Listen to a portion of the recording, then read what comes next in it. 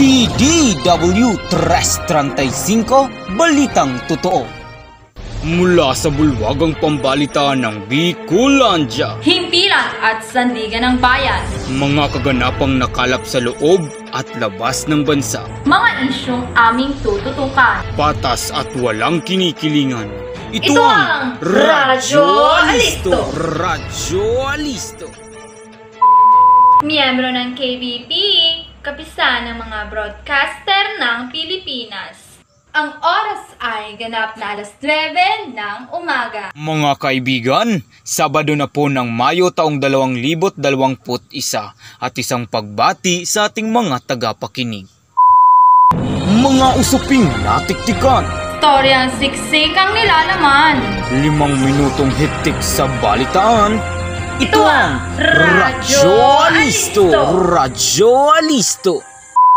Mapagpalang umaga po, Pilipinas! Ito ang inyong tagapagbantay, Joey Manuska. At inyong kaagapay, Rosa Nixiha. Ang tambalang RNJ!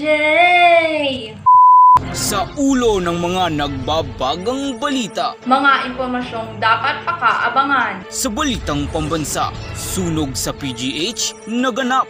sa balitang lokal, mga streetlights nagbigay ng liwanag sa Rapu-Rapu Albay. Sa karagdagang balita, mga Pinoy sa India todo ingat sa gitna ng pandemya. Para naman sa showbiz balita, Rabia Mateo inirampang Philippine flag-inspired outfit sa costume competition ng Miss Universe. Ang lahat ng detalye sa balitang yan, pakatutukan matapos ang patalastas. Apo!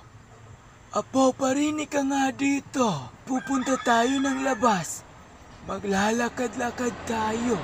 Eh lolo, di ba sabi nga po, maigpit na pinagbabawal na bawal po lumabas ngayon. Lalong-lalo na po, yung katulad mo na senior citizen at katulad ko po na bata pa. Dahil tayo po yung mabilis o madaling hawaan ng mga sakit. Lalong-lalo na po ng COVID. Kaya bawal po tayong lumabas lolo. Ah, oo nga pala. Nakalimutan ko. O siya, dito na lang tayo sa loob ng bahay. Ingatan ang ating mga sarili upang hindi tayo mahawa sa sakit na COVID-19. Isang mahalagang paalala mula sa himpilang ito. At nagbabalik ang Radyo Alisto! Radyo Alisto! Sa balitang pambansa, sunog sa Philippine General Hospital naganap. Para sa detalye ng balitang yan, narito si Erica Castello. Pasado ang alas 12 ng hating gabi kahapon nang sumiklab ang sunog sa ikatlong palapag ng Philippine General Hospital sa Maynila. Nasunog ang sterilization area ng operating room. Hindi magkanda o gaga ang mga nurse at mga doktor sa paglikas ng mga pasyente sa ligtas na lugar. COVID Referral Hospital ang PGH at sa higit limang daang pasyente na inilikas, isang daan at limang put anim ang COVID-19 patient. Inilipat sa ibang ospital ang ibang pasyente, maging ang mga sanggol na nasa NCU. Umabot sa ikalawang alarma ang sunog bago idineklara ang fire out mag alas 6 ng umaga. Ito po sa Erica Castello para sa Balitang Pambansa. Salamat Erika. Sa balitang lokal, ang streetlights na nagbigay ng liwanag sa Rapu-Rapu Albay. Narito si Josen Año para sa detalyeng yan. Nagbigay liwanag sa gitna ng kadiliman ng mga streetlight tungo sa town proper at tiyerang Rapo-Rapo Albay sa pamamagitan ng generator set itong Sabado. Ito ay matapos putulan ng Albay Power Energy Corporation ang islang bayan dahil sa nabigong bayaran ng buong 1,700 dinikon consumer at 15 million settled bill ng isla.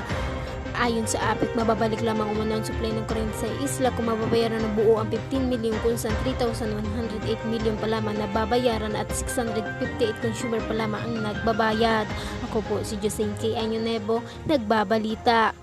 Salamat Josen. Sa karagdagang balita, mga Pinoy sa India, todo ingat sa gitna ng pandemya. Ang lahat ng detalye sa balitang yan, pakatutukan matapos ang patalastas.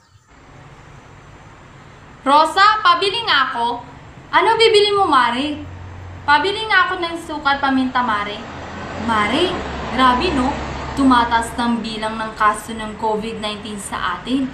Dumagdag pa yung anak daw ni Marites. Ah, talaga? Saan mo, Mare, nalaman? Diyan lang Mari sa labas, bali-balita lang.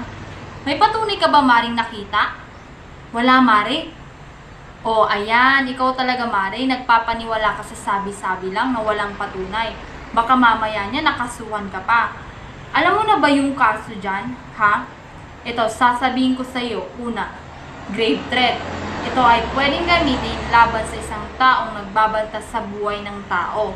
Pangalawa, unjust vexation. Kapag naapektuhan mo ang pag-iisip o pang-araw-araw na pamumuhay ng isang taong siniraan nyo, pwedeng ikaso din yan bilang paninirang puri sa inyo. At ang huli ay oral defamation. Ito ay pwedeng isang pangkaso kapag ang chismis ay naglalaman ng paninirang puri. Kaya mare, huwag basta-basta nakikinig sa chismis lalo na kung walang katotohanan. Kasi mainit na nga ang usapan sa COVID-19. Dumadagdag pa yung mga maling impormasyon na kumakalat. Sige mare, alis na ako. Ito yung bayad ko. Salamat! Makialam sa isyu ng lipunan dahil tayong mga nasasakupan ang siya nitong naaapektuhan. Isang mahalagang paalala mula sa himpilang ito. At nagbabalik ang Radyo Alisto! Radyo Alisto! Sa karagdagang balita, mga Pinoy sa India, todo ingat sa gitna ng pandemya. Narito si Joseph Tirago para sa detalye ng balitang yan. Walang patid pa rin ang pagtaas ng bilang ng mga nagpopositibo sa COVID-19 sa bansang India. Kaya naman iba yung pinag-iingat ang ginagawa ng mga Pinoy na nakatira doon. Kwento ng isang Pinoy na si Bermejo, naging kampante ang India isang taon mula nang nagsimula ang pandemya. Bago mangyari ang second wave ng mga kaso, pinayagan ang mga religious at political events sa India nitong biyernes. Umabot sa higit 386,000 ang mga bagong kaso ng COVID-19, habang halos 3,500 ang bilang ng nasawi. Tatlong araw nang magsasara ang mga vaccination center sa Mumbai dahil kapos ang supply ng bakuna sa kabila nito. Tuloy ang buhos ng tulong mula sa ibang bansa.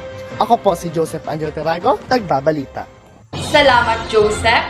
Para naman sa Showbiz Balita, Rabia Mateo inirampang Philippine flag-inspired outfit sa costume competition ng Miss Universe. Para sa chikang narito si Maria Chari.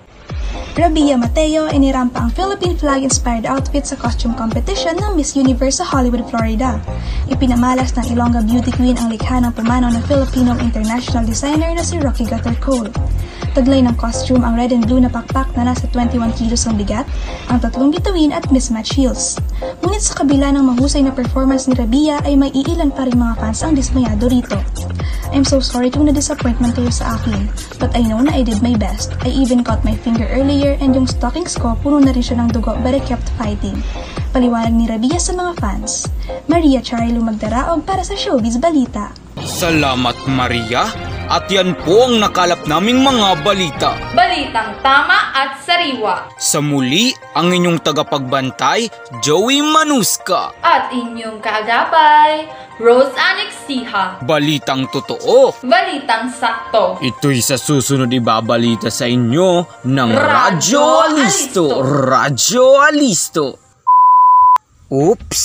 Mahalagang paalala mula sa himpilang ito na laging susundin ang health protocols upang maiwasan ang paglaganap ng COVID-19. Salamat